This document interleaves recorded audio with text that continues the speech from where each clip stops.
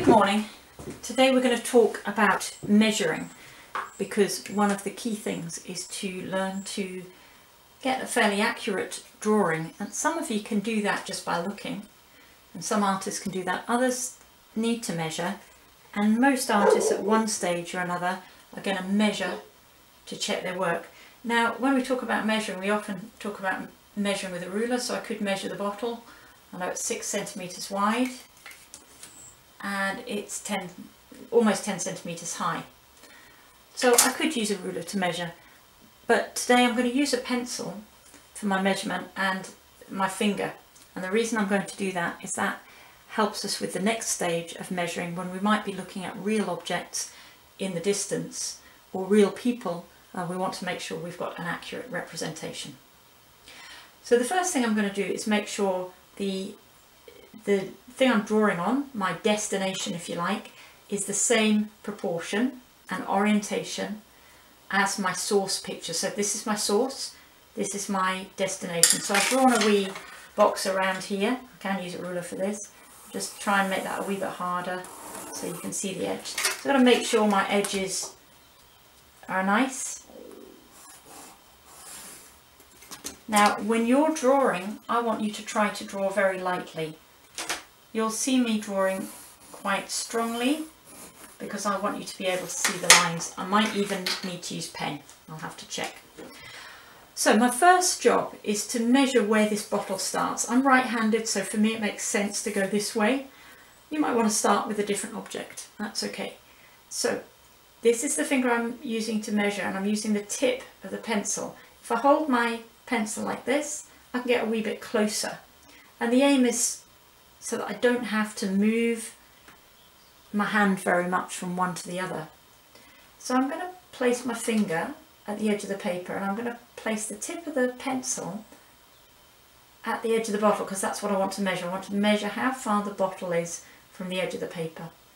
Okay, so I'm going to do the same here. So I, I literally lift my hand up, place it on my paper, tilt my pencil down, and I've got my line there. Okay, so there is the edge of my bottle. Going to do the same to find out how far it is from the edge of the bottom here. So tip of my pencil goes here, my measuring finger if you like goes at the edge of the paper. And the other fingers are just there to support it but I know I'm measuring between the tip of my pencil and this finger, that one there, that's, that's my measurement. When I lift this off I don't have to move that, I do actually because I can't reach it from the edge but I don't have to move my hand okay at all. I just place my finger down there pop that down there and there is my measurement of where my bottle starts. Okay? Now we get to the slightly more sensible bits makes more sense here. So I'm going to measure the width of the bottle. So holding my pencil like so point of the pencil here finger measuring finger just at the edge. So I know that's my measurement between this finger and that tip of my pencil and I can just place the pencil down and easily tip my pencil and place a remark there. Same with the height. Tip of the pencil at the top of the bottle, my finger, measuring finger at the base of the bottle. I'm just going to pop that down, done this earlier. So there's the top of my bottle. I know my bottle's going to fit now into uh, into this shape here. All right. I also know my bottle's symmetrical, so more or less. So I'm going to do some extra guidelines. I'm going to measure down here. There's my centre. I'll just go a little bit harder so that you can see. There's the centre of the bottle. And there's a few other things going on here. So I know this bottle's slightly at an angle, so the, the shoulder of the bottle is slightly uh, tilted. I'm not going to worry too much about that. What I will think about is how far to the neck of the bottle. So finger there, pencil at the neck of the bottle. I'm going to need to lift this up so I can get there. Finger there, pencil at the neck of the bottle. That is where the neck of the bottle is going to go. Alright, there we go. So I've got my measurements, my proportions of that bottle in, more or less. I'm going to get the width of the, the neck of the bottle. So one side here and one side here. Alright, from here it's much easier now for me to start to draw that bottle in because I know where it's going to fit. I know it's going to fit inside these lines.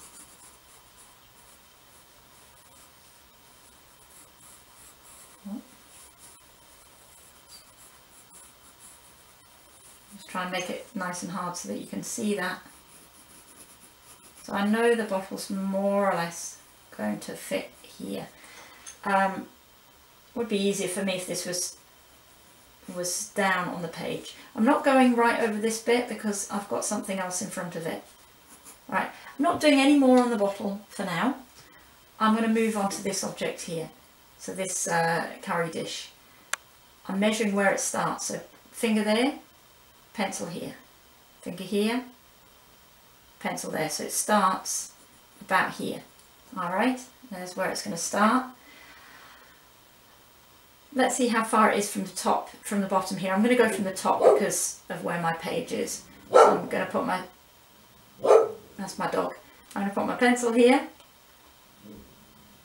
A finger here, sorry, here, and pencil at the tip. So I know where the top of that curry dish is. And I'll do the same thing here and just mark that in. Alright? Uh, all I'm doing is just marking it in for now. Now, the handles give us a clue. The handles are tilted that way. So I'm going to do a wee line. I'm just going to place my pencil here. It's diagonal. I'm going to place it here. Now this bit is a bit tricky, so you might not get this bit straight away. But I'm going to do myself a wee guideline here to remind me that's a bit wonky, right? Just that the, the bowl is a wee bit wonky. So I'm now going to measure from this handle to this handle here. Handles are sticking out a bit, so gets a bit complicated. So there's my handle and there's my other handle. My other handle's right up here, okay? And I can also measure how high it is or how low it is from the edge, just to give myself an extra measurement. So see how there I've made a complete mistake. I thought that was a lot higher and it's not. It comes to here. And I had it coming up to here. So that was worth me checking that to check it's accurate. There's the edge of my handle.